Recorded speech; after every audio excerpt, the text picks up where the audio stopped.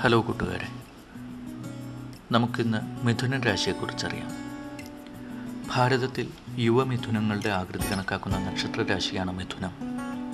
ശബരൻ അഥവാ വേട്ടക്കാരൻ നക്ഷത്രഗണത്തിന്റെ തൊട്ടു വടക്കു കിഴക്കായി നമുക്ക് എളുപ്പം മിഥുനം നക്ഷത്ര രാശിയെ കണ്ടെത്താം.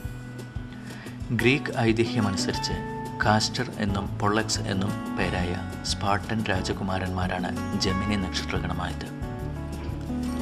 സ്പാർട്ടൻ രാജ്ഞിയായിരുന്ന ലഡയ്ക്ക് രാജാവായിരുന്ന ടൈഡ്രസിലും യവനദേവനായ സിയൂസിലും ജനിച്ച രണ്ട് പുത്രന്മാരാണ് അവർ ഇരുമയ്യാണെങ്കിലും ഒരു മനസ്സോടെ ജീവിച്ച സഹോദരങ്ങളിൽ കാസ്റ്റർ ഒടുവിൽ മരണപ്പെട്ടു. എന്നാൽ സിയൂസിന്റെ പുത്രനായ പൊളക്സ് ചിരഞ്ജീവിയായിരുന്നു. സഹോദരന്റെ മരണം പൊളക്സിനെ വല്ലാതെ തളർത്തി കളഞ്ഞു. സിയൂസ് ദേവനരികിൽ അഭയം തേടിയെത്തിയ പൊളക്സിനെ പിതാവന പിതാവായ സിയൂസ് ദേവൻ കൈവെടിഞ്ഞില്ല. സിയൂസ് രണ്ടുപേരെയും ചിരഞ്ജീവികളായി ആകാശത്ത് പ്രതിഷ്ഠിച്ചെന്ന് യവനപുരാണം. മിഥുനം രാശിയിലെ പ്രധാന താരകങ്ങൾ പൊളക്സും കാസ്റ്ററും തന്നെ. മുപ്പത്തിമൂന്ന് പ്രകാശവർഷമകലെ സ്ഥിതി ചെയ്യുന്ന പൊളക്സ് എന്ന പുണർദം നക്ഷത്രം ഒരു ഓറഞ്ച് ഭീമനാണ്.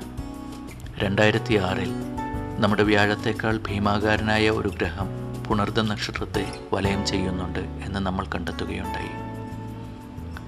അൻപത്തിയൊന്ന് പ്രകാശവർഷമകല സ്ഥിതി ചെയ്യുന്ന കാസ്റ്റർ ആറ് നക്ഷത്രങ്ങൾ പരസ്പരം വലയം ചെയ്യുന്ന ഒരു അതിവിശിഷ്ട നക്ഷത്രമാണ്. രണ്ടായിരത്തി എണ്ണൂറ് പ്രകാശവർഷമകലെ സ്ഥിതി ചെയ്യുന്ന മെസ്സിയർ മുപ്പത്തിയഞ്ച് എന്ന അതിമനോഹരിയായ ഒരു നക്ഷത്രക്കുലയുണ്ട് മിഥുനം രാശിയിൽ. നഗ്നനേത്രങ്ങളാൽ വളരെ മങ്ങിക്കാണുന്ന ആ നക്ഷത്രകുല ഒരു ചെറിയ ടെലിസ്കോപ്പിലൂടെ നോക്കിയാൽ വിസ്മയങ്ങളുടെ വാതായനം തന്നെ തുറന്നു തരും. ആയിരത്തി എഴുന്നൂറ്റി എൺപത്തിയേഴിൽ വില്യം ഹെർഷിൽ കണ്ടെത്തിയ എസ്കിമോ നെബുലയും മിഥുനൻ രാശിയിൽ തന്നെ. രണ്ടായിരത്തി എണ്ണൂറ്റി എഴുപത് പ്രകാശവർഷമകലെ സ്ഥിതി ചെയ്യുന്ന അതിമനോഹരമായ ഈ നെബുലയെ കാണാൻ നല്ലൊരു ടെലിസ്കോപ്പിന്റെ സഹായം ആവശ്യമായി വരും. അയ്യായിരം പ്രകാശവർഷമകലെ സ്ഥിതി ചെയ്യുന്ന ജെല്ലി ഫിഷ് നിഹാരികയാണ് മിഥുനം രാശിയിലെ മറ്റൊരു ആകർഷണം.